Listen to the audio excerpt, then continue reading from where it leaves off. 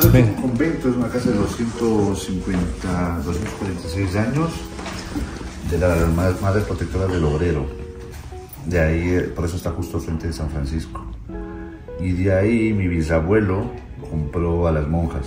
Entonces vivía mi bisabuelo, pero mi bisabuelo era de la Tacunga, entonces esta era la casa, era la casa de la, de, la ciudad. Entonces él, traía productos, papas y ganado bravo y los exponía en San Francisco y bueno, con eso tenía la, casa. Por eso en la casa, si te ves, eh, la parte de arriba era donde vivían los dueños de la casa, tiene la sala y el comedor y la cocinera atrás.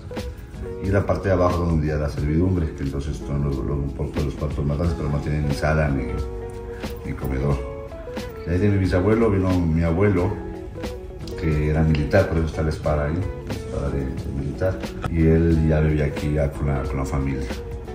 Después de eso, mi papá, mi papá a los 17 años ya se fue y quedó solo una tía abuela, porque mi, abuelo falleció muy joven, nuevo la casa. Entonces siempre ha vivido alguien en esta casa, siempre ha sido una casa, la propia casa quiteña. Por eso todos, todos los adornos que tú ves, todos los muebles, todo es completamente original, los pisos, los, eh, los suelos, los pisos de madera, la decoración, las fotos de la familia, todo eso es, es original de la casa. claro, ahí mi papá vivió, vivió, aquí, se casó con mi mamá, estuvimos nosotros hasta una cierta edad, después ya nos fuimos y la casa ya le quedó muy grande a mi papá, entonces decidimos hacer un, pequeño, un hotel.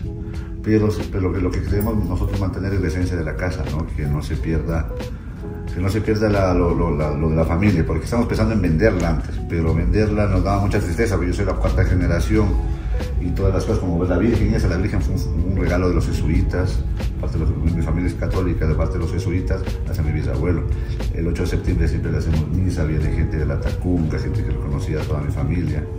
Y esta es una de las casas, una de las primeras casas que hay en el centro histórico, entonces por eso las, las puertas, si tú las ves, es una mezcla entre lo, indígena y lo español. El comedor también, el comedor es una réplica del palacio presidencial. Pues lo que, nosotros lo que vendemos más es una experiencia, ¿no? que la gente venga acá y se empape de lo que es la cultura quiteña, que es exactamente lo mismo. O sea, es, lo, que, lo, que, lo que la casa queremos dar ese mensaje.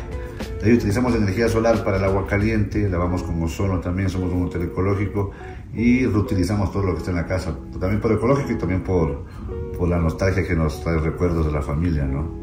Entonces por eso la casa sí es un poco antigua, pero tiene los baños nuevos, el sistema eléctrico es nuevo, las tuberías de cobre, energía solar para el agua caliente, lavamos la ropa con ozono. Y sí, para la decoración. Y por adentro pusimos, reforzamos un poco la casa, ¿no? para, para que, porque pusimos baños en cada habitación. Y eso más o menos es la historia de la casa.